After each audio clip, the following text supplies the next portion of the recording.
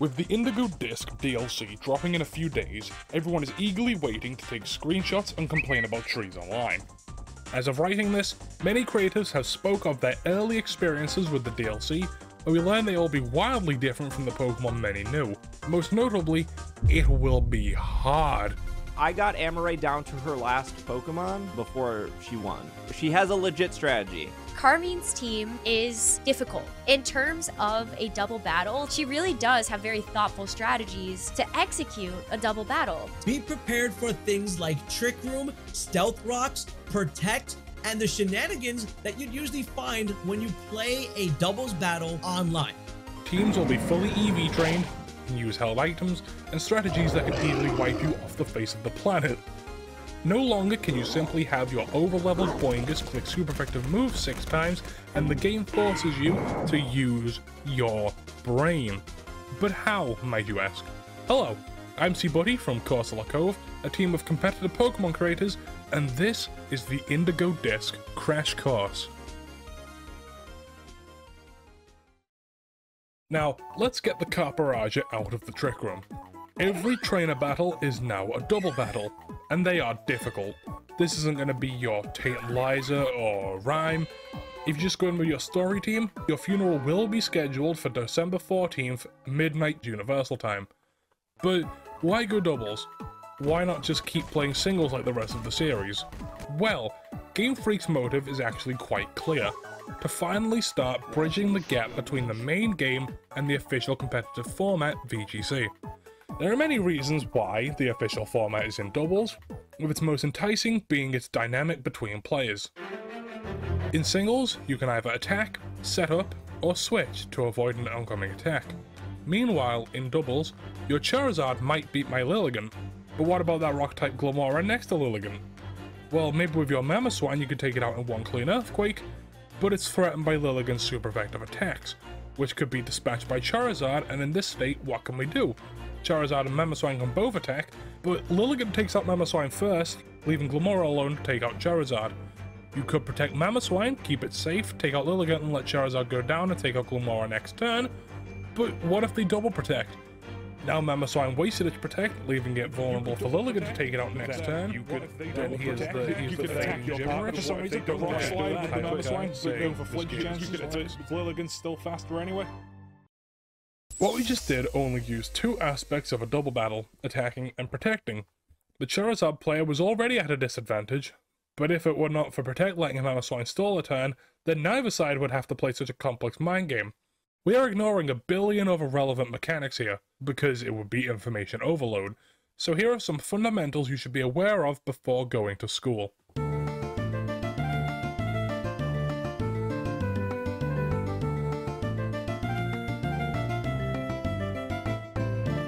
On the topic of Protect, typically it's not on many players' radar, as you stall a turn and that's all. And in singles, it's often used to stall for toxic damage, leftover healing, or during the Gliscor incident. In doubles, however, there are twice the amount of actions coming from both sides, therefore, the value of nullifying an attack becomes more valuable, as you can protect one from damage and either attack, or set up or switch out with the other, buying you better positioning for the next turn. On the topic of attacks,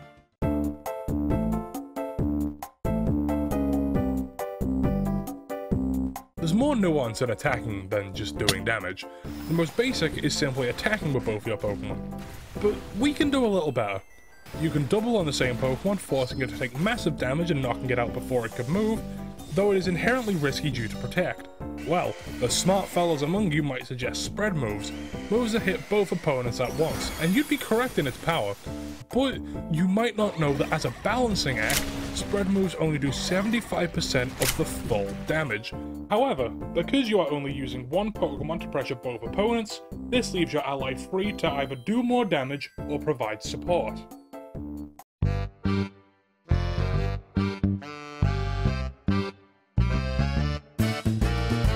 Typically, you don't see them a lot, as using status moves means you aren't attacking, and when the balance of the main story is heavily skewed in favor of the player, you might not even notice what the gym leader clicked.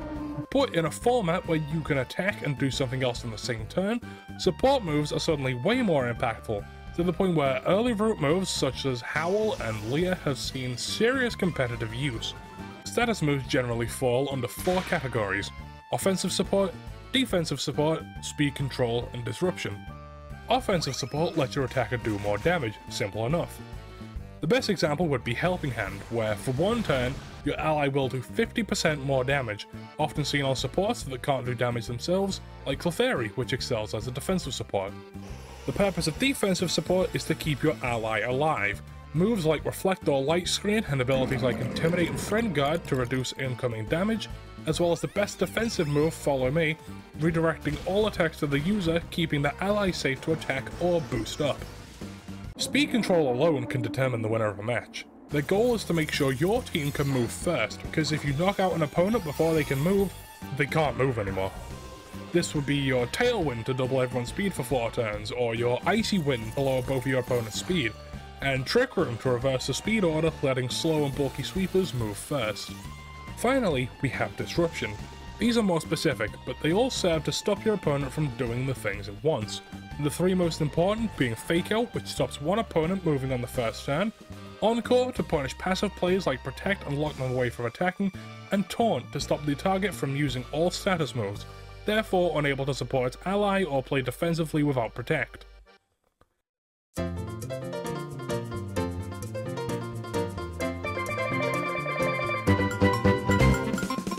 We've the three main actions every Pokemon can do during battle, being one of offense, defense, and support. And just like the capitalist idea of specialization, most Pokemon are built to do one thing more than another, though often a good Pokemon is capable of doing two.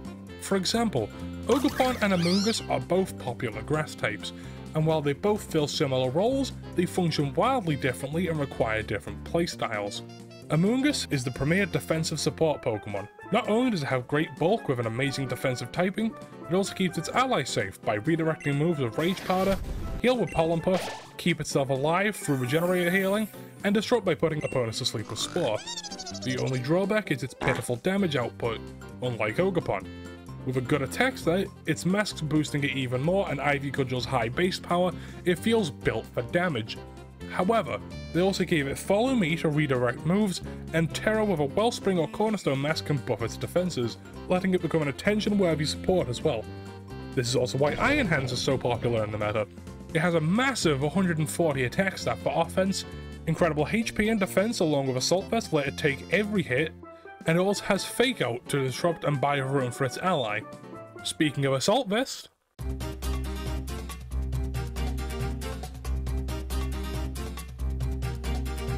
The final aspect of what makes a Pokemon is its held items. Depending on what it holds, it can drastically change how it functions on a team. You have the straightforward ones. Sitrus Berry and Leftovers give you healing and longevity. Choice and Type item boosts the holder's damage potential. Oh, And other utilities like Rocky Helmet for chip damage or Mental Herb to block Taunt once. Simple, right? Well, let's look at the Pokemon ever, Landorus Therian. Above average bulk, great attack stats, decent speed, and intimidating typing let its ally take less damage. If we give it an Assault Vest, suddenly attacking it with special attackers not affected by Intimidate becomes more difficult, thus becoming a strong, bulky attacker. With a Choice Scarf, it can outspeed many threats, do big damage, and pivot with U-turn and activate Intimidate multiple times per game. With a Choice Band or Life Orb, its burst damage ca- can even OHKO neutral targets. Focus Sash and Yache Berry help keep it alive, Clear Amulet to make it difficult to lower its attack, Safety Goggles to ignore Amoonguss, I could go on. Oh, and one more thing. In Scarlet and Violet, they changed a mechanic regarding single-use items in that it will be restored after it was consumed in battle. So using items like Throat Spray and Focus Sash has no drawback in the future, so go ham.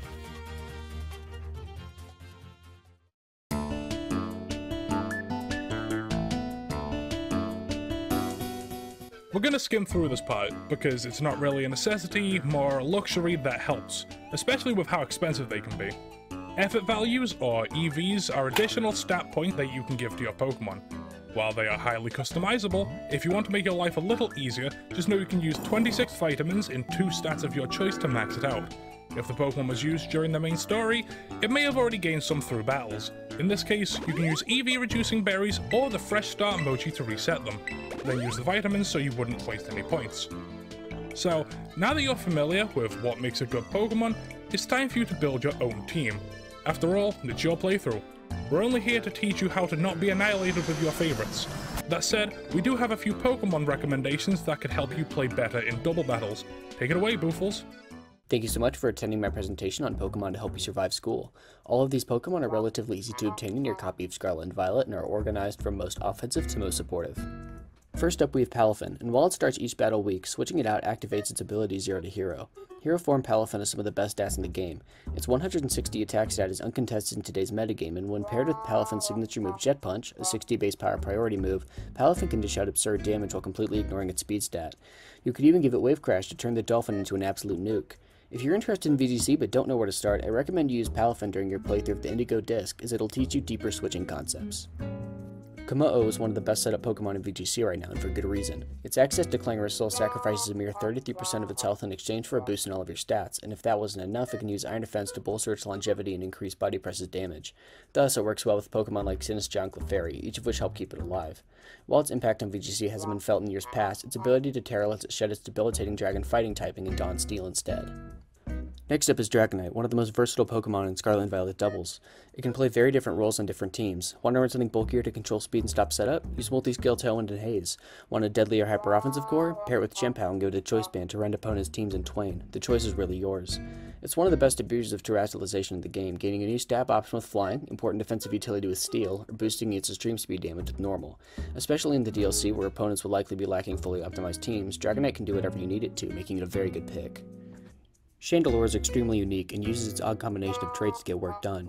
It's tied for the highest special attack stat in the game, letting it break through defensive walls and even threaten sweeps with Heat Wave. But it doesn't end there. Chandelure has access to the Trick Room, making it dangerous to leave alone. On slower teams, try running it to enable mons like Armarouge, Hatterene, or even Snorlax.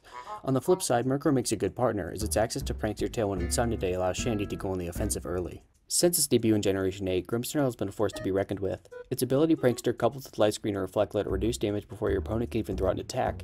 If you want to control the game in other ways, it has you covered. Priority Thunderwave and Parting Shot let it spread annoying status and stat drops across your opponent's team while pivoting in and out. It could even learn Fake Out and stop teams from getting the upper hand on the first turn. It's no slouch offensively either. Grimmsnarl's solid attack set of 120 lets it pack a punch with stab Spirit Break and lower special attack stats in the process. If you're worried about hyper offense teams getting in your way, this is an absolutely fantastic pick. Amoonguss is one of, if not the most infamous Pokemon in VGC history. It's the best Spore used in the game bar none, and even its low speed stat helps out as it can be a nuisance inside of Trick Room. It's not just a Spore bot though. Rage Powder lets you redirect moves away from frailer Pokemon, and Pollen Puff heals your teammates for half of their health. Even though it can't fit a healing move onto its set, it doesn't need it. Regenerator gives it the chance to get back tons of HP while switching out, making sure the mushroom stays healthy at all times. In conclusion, there are a lot of strong Pokemon to use in the upcoming Indigo Disk DLC, many of which I wasn't even able to mention here. Don't be afraid to experiment with these strategies. That's what Pokemon's all about. Have fun with it. Thank you so much to Corsola for having me on. It really is a pleasure. Back to you, C-Buddy.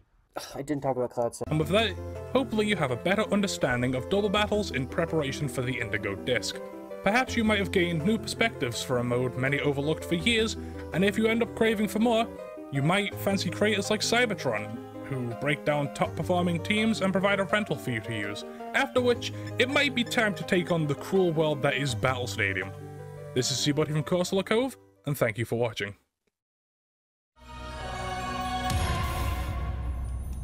Oh, mother